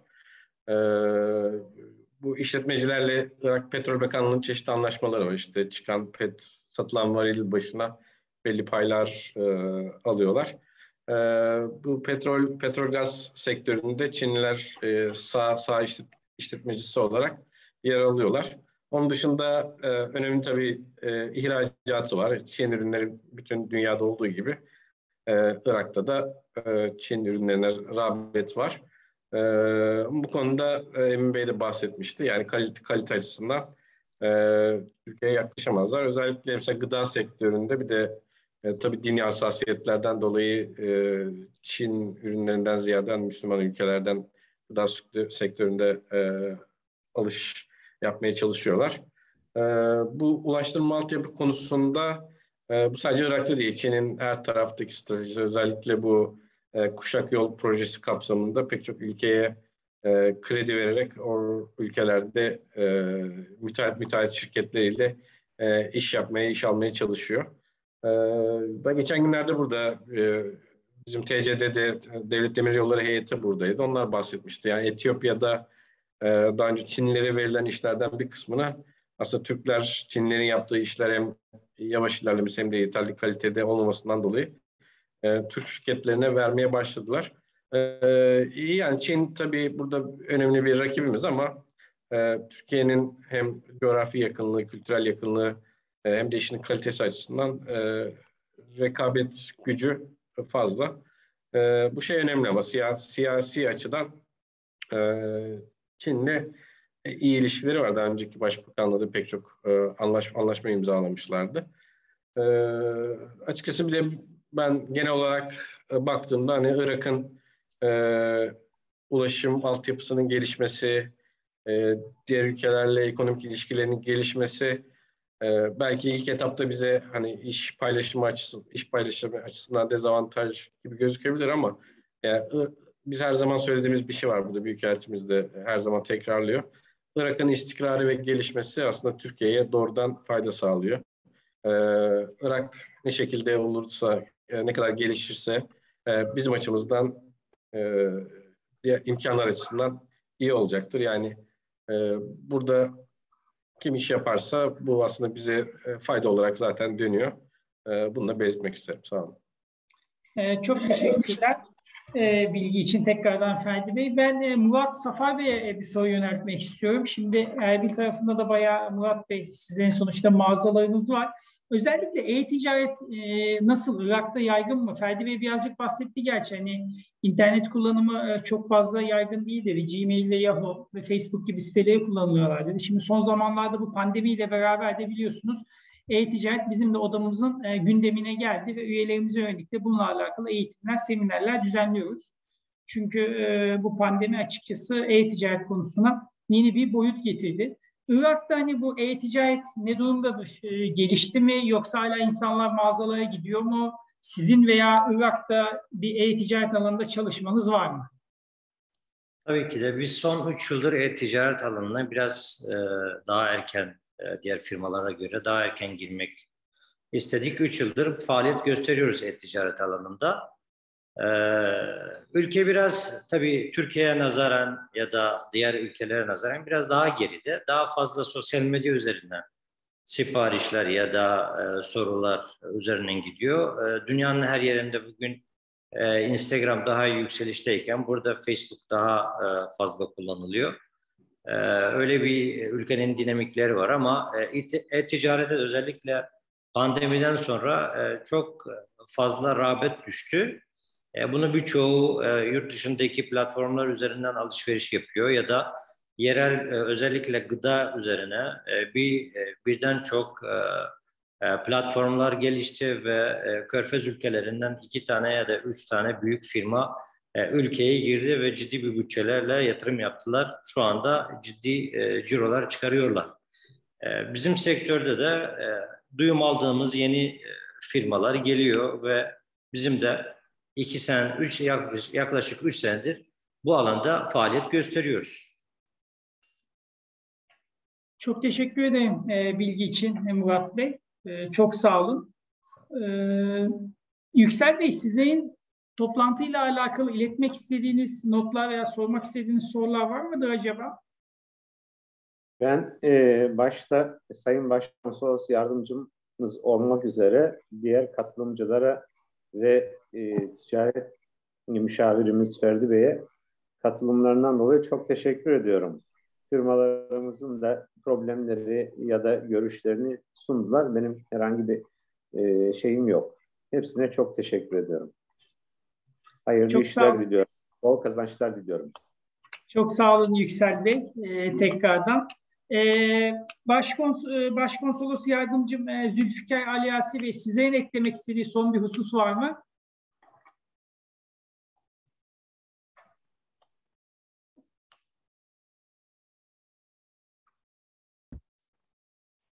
thank you very much. Uh, uh, just wanted to uh, thank uh, everyone again, all the panelists, and for this a very fruitful uh, discussion. And thanks to you personally for your uh, being a panelist and you have organized everything wonderfully. Thank you very much. That's everything. Thank you. Ben de tüm katılımcılarımıza çok teşekkür ediyorum.